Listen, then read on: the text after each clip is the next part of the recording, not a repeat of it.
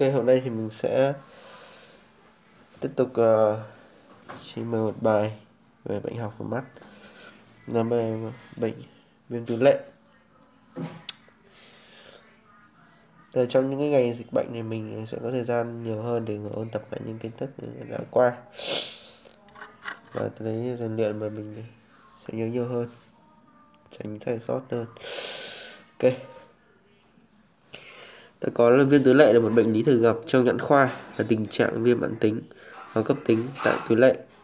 Bệnh thường xảy ra thứ phát do tắc ống lệ mũi bẩm sinh hoặc là mắc phải. Có một tình trạng viêm túi lệ này sau khi có tình trạng bị tắc ứ lại các cái dịch. Đấy.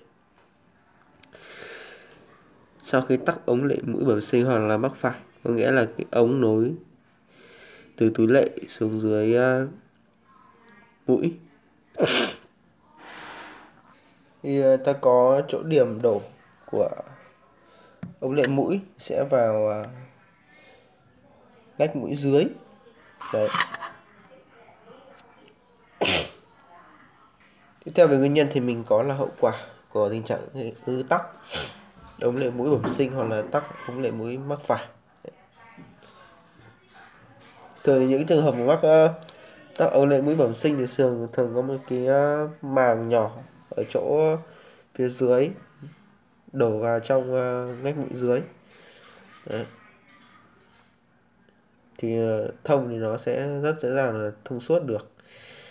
Với trường hợp mà mà tắc ống lệ mũi mắc phải thì nó trở thành một đoạn sơ dài và tình trạng này rất là khó nên người ta thường chỉnh phẫu thuật hơn tác nhân vi sinh vật thường gặp gây viêm mũi à, gây viêm túi lệ. Nó khá đa dạng. Các sinh vật có thể gây viêm túi lệ bao gồm thì ta có là gram dương như là Streptococcus epidermidis Streptococcus uh, à, Staphylococcus aureus và Streptococcus pneumonia nghĩa là có tụ cầu và phế cầu các vi khuẩn gram âm. Gram âm bình thường ờ, gặp ở trẻ em sơ sinh. Ta có là Pseudomonas,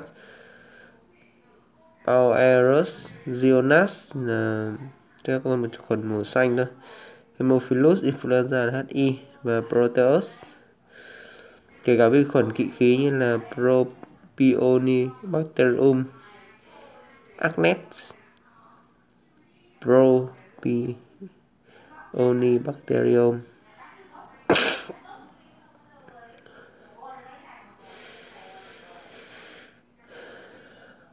thì trở về trần đoán thì mình sẽ có lâm sàng. Có lâm sàng và trần đoán xác định. Thì về lâm sàng thì viêm túi lệ biểu hiện ở hình thái mãn tính hoặc là có những đợt viêm cấp tính. Ta sẽ có là viêm túi lệ mãn tính này, viêm túi lệ cấp tính. Đấy về mạng tính thì chảy nước mắt thường xuyên có thể kèm theo chảy mũi nhầy. Có một tình trạng kiểu là tình trạng dị ứng ấy nó sẽ viêm cả mũi và viêm cả kết mạc mắt. Tiếp theo là dính mi mắt do các chất tiết nhầy có nghĩa là cái tình trạng tiết nhầy này tiết các, các khi mà có tình trạng viêm ở, ở mắt ấy từ sữa là thường là viêm kết mạc mạng và các chất tiết này thường là nhầy dính chứ không phải là kiểu như là nước như là viêm kết mạc cấp. Bùng túi lệ có khối nề căng ấn vào có mù nhầy trào ra khỏi ở góc trong. Chứng tỏ là có một tình trạng tình trạng tắc và ứ mủ ở đây. Và nó sẽ trào ra ở ở các cái uh, lỗ lệ quản dưới và trên. Kèm theo viêm kết mạc góc trong một tình trạng viêm của các tổ chức xung quanh lân cận và khi ờ, mình kiểm tra bằng bơm lệ đạo thì nước trào ra lỗ lệ đối diện có nhảy mù kèm theo Đấy. Có, có nghĩa là như thế nào có nghĩa là khi ờ, bạn bơm nước vào điểm lực còn dưới thì nó sẽ không xuống được dưới mũi mà nó sẽ trào ngược lại một sẽ trào ngược đúng vào chỗ điểm bạn đã bơm hai là trào ngược vào cái điểm lực còn trên Đấy. Về viêm túi lệ cấp tính thì có tiền sử chảy nước mắt hoặc chảy nước mắt kèm nhầy mủ. Đau nhức vùng túi lệ có thể đau tăng lên khi liếc mắt thì vì phản ứng viêm có thể tác động lên cơ chéo dưới. Cơ chéo dưới, cơ chéo trên, cơ dưới còn gọi là cơ chéo bé đấy. Động tác của cơ chéo dưới là cho mắt lên trên vào trong. Đau có thể lan ra nửa đầu cùng bên, đau tai hoặc là đau răng vùng túi lệ sưng, nóng, đỏ. Túi lệ giãn rộng, lan ra phía dưới, ngoài hoặc là một phần ở phía trên. Nghĩa là cái điểm túi lệ là cái điểm bóp trong mũi với mắt, sẽ sưng lên thành khối. Vùng túi lệ sưng nề, nóng, đỏ. Túi lệ giãn rộng, lan ra phía dưới, ngoài hoặc một phần phía trên. Nếu quá trình nhiễm trùng nặng hơn thì có thể gây áp xe túi lệ, điển hình là các khối và bạn ấn là có chăm ra ngoài. Thường cái áp xe này thì là, là áp xe có đường ra nó khác với cái áp xe bình thường mà mình thường gặp. Em đầu khối ở dưới da áp xe đường ra thì là, là thông thương qua các cái lỗ lệ.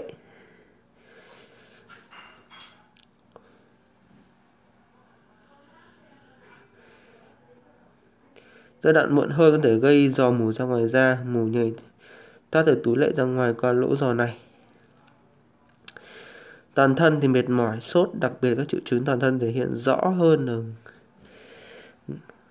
ở người già và có thể có hạch trước tai. Cái phản ứng hạch này thì là hạch viêm rồi. Phản ứng hạch thứ nhất là vì hạch viêm.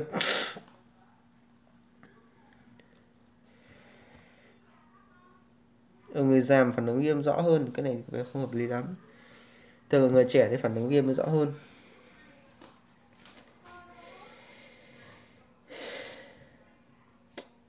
Về cận lâm sàng với tuyến lệ có thể được chuẩn đoán dễ dàng dựa vào các triệu chứng lâm sàng mà không cần đến các xét nghiệm chuẩn đoán khác. Tuy nhiên trong một số trường hợp chụp phim cắt lớp vùng túi lệ và hốc mắt thì cho thấy rõ hình ảnh túi lệ bị viêm hay là u, u túi lệ. Có nghĩa là mình có thể đủ chẩn đoán khi mà chẩn đoán ờ, khi khám lâm sàng được.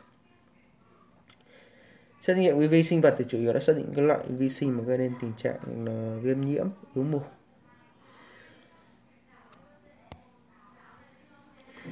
Về chẩn đoán xác định thì ờ, chẩn đoán xác định là mà căn cứ vào các triệu chứng lâm sàng nêu trên thì là các tình trạng như là đau này, viêm các tổ chức xung quanh, này các cái khối nề sưng, tình trạng tắc khi mình khi mà mình bơm thông thì có tình tạm tắc trào nước trào mủ ra ngoài kèm theo với tình trạng nhiễm trùng tại chỗ và toàn thân Đấy.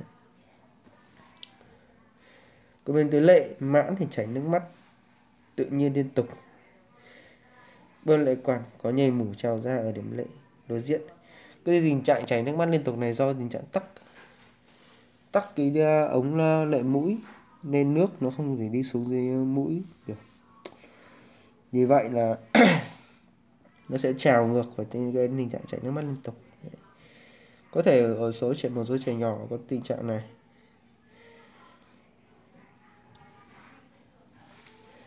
Tiếp theo là tôi có là u túi lệ. Bệnh nhân có khối u vùng các trong mắt có thể gây chảy nước mắt nếu u trong chỗ nhiều. Gây tắc lệ đạo, u có mật độ chắc, ấn vào khối u không thay đổi. Do không có mủ nhảy trào ra ở lỗ lệ. Khi bơm lệ đạo, nước thoát tốt hoặc nước trào ngược và không có nhiều mủ. Trừ các lớp sẽ phân biệt được rõ u và viêm túi lệ. Có nghĩa là mình phải phân biệt được tình trạng u có nghĩa là bây giờ cái này đơn giản thôi có nghĩa là bạn sẽ phân biệt với một khối u và một khối áp xe u vùng túi lệ u ở vùng túi lệ có thể gây chèn ép các túi lệ gây chảy nước mắt u có mật độ chắc MGU u không thay đổi về kích thước bơm lệ đạo nước thoát xuống miệng hoặc là trào ngược nhưng không thấy mủ ok áp xe vùng túi lệ bệnh nhân không có tiền sử chảy nước mắt Bơm ờ, lệ đạo nước có thể thoát xuống miệng, không có tắc lệ đạo. Tuy nhiên, rất khó phân biệt giữa viêm túi lệ cấp và áp xe vùng túi lệ giai đoạn viêm cấp tính.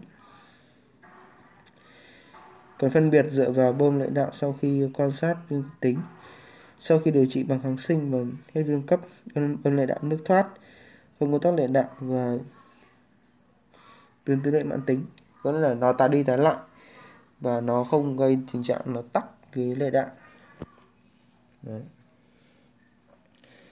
đó là tình trạng của áp xe Còn khi viêm cấp thì nó sẽ tắc điều trị thì uh, chắc chắn điều trị nội khoa và ngoại khoa rồi nội khoa để áp dụng cho các trường hợp viêm túi lệ cấp để giải quyết tình trạng nhiễm trùng cấp tính. Sau khi hết viêm cấp tính bệnh nhân cần được điều trị phẫu thuật để loại trừ ổ viêm mãn tính tại vùng túi lệ. Này nó cần phải mở mổ thông vào trong túi lệ luôn.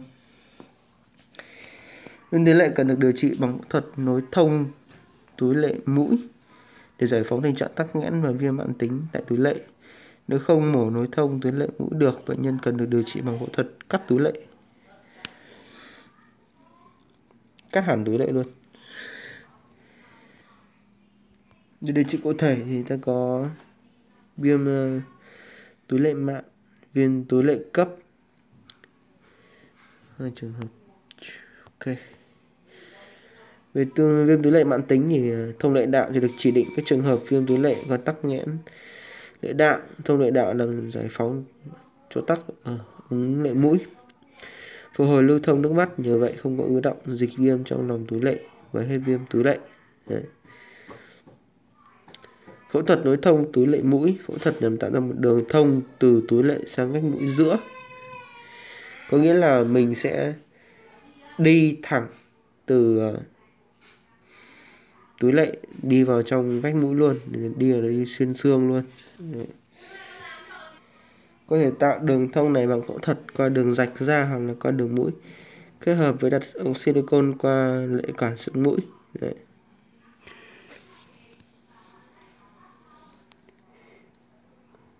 Nó đi xuyên qua, đi xuyên qua xương mũi vào trong, đi thẳng luôn vào trên vách, qua xương luôn. Nhưng không ừ, không nhất thiết phải đi qua ống lệ mũi nữa ngoài ra kết hợp với đặt uh, à, ống ờ, uh, silicon từ uh, lỗ lệ vào để tránh cái tình trạng nó sơ dính và nó mất nó chít hẹp ở ngay đoạn đầu ấy nên mới cần đến cái ống silicon nếu không phẫu thuật nối thông túi lệ mũi được hoặc mổ nối thông túi lệ mũi thất bại cần mổ cắt bỏ túi lệ loại trừ viêm và tránh các biến chứng như là viêm túi lệ cấp hoặc viêm hoặc nhiễm trùng tại bề mặt nhãn cầu. Đấy, có thể từ đấy nó sẽ lan viêm xung quanh. Trong tình trạng mà không thể thể phá xương vào để nó thông thẳng vào trong cái um, cái mũi giữa. Đấy.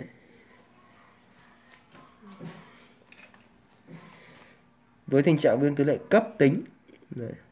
thì điều trị viêm túi lệ cấp được chia làm hai giai đoạn điều trị viêm cấp tính và điều trị dự phòng tái phát bao gồm các điều trị nguyên nhân. Có nghĩa là cái tình điều trị ở mạng ờ, cái tình trạng dư lệ mạng tính ấy thường là sẽ là dùng phẫu thuật ngoại khoa.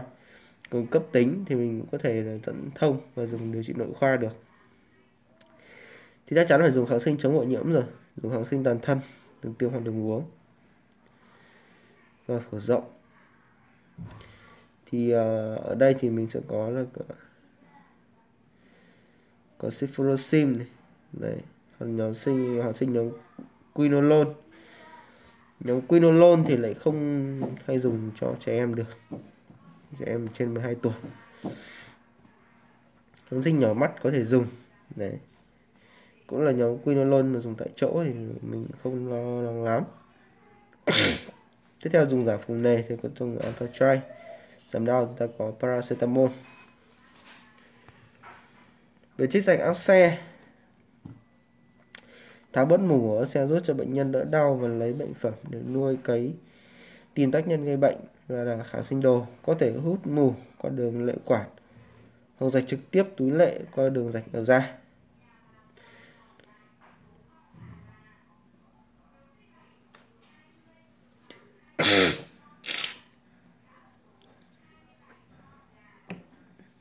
Nghĩa là một là ta sẽ tự tạo một đường thông vào, hoặc là ta sẽ đi đường thông tự nhiên, đó chính là cái ờ, nội lợi quản để trị dự phòng tái phát thì điều trị nội khoa sẽ làm viêm túi lệ cấp ổn định.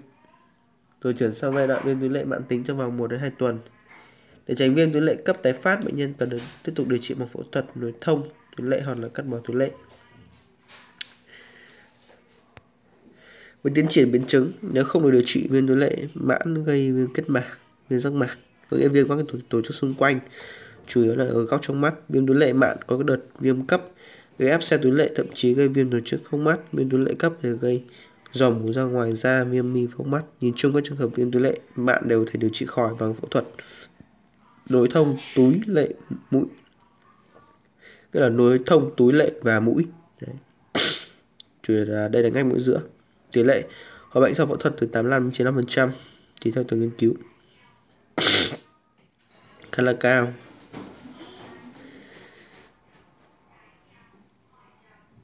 Các trường hợp điều trị phẫu thuật nối thông túi nối thông thì thất bại ấy, có thể điều trị khỏi bằng cách là cắt luôn túi lệ đi.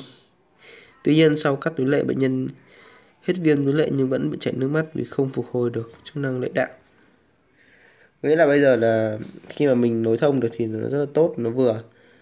Nó vừa có thể là dẫn được lưu nước mắt bớt chảy nước mắt mà nó không bị tình trạng viêm nhiễm kéo dài. Đấy. Là bây giờ mà mình không bây giờ là mình cắt nó đi thì nó sẽ hết cái tình trạng viêm nhiễm kéo dài. Tuy nhiên cái đường thông thì lại không còn nữa và gây chảy, chảy nước mắt. Cũng khá khó. Tuy nhiên là mình giải quyết được một cái viêm nhiễm nhiễm đi nhiễm lại và giảm các biến chứng nặng thì cũng khá là tốt rồi. Phòng bệnh thì điều, điều trị sớm các trường hợp tắc ống lệ mũi và biện pháp có hiệu quả. Để phòng uh, viêm túi lệ mạng các trường hợp viêm túi lệ được điều trị sớm sẽ tránh được biến chứng viêm túi lệ cấp. Ok.